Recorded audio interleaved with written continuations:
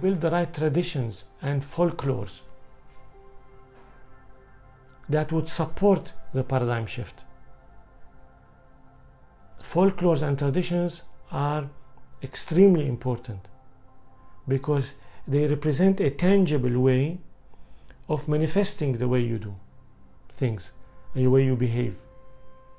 Let's say, I'll give an example. In a holiday, on a feast, an important feast, uh, people wear new clothes, especially for you know for kids. So this is a tradition. Why? Because it's a way of expressing that we're celebrating something joyful.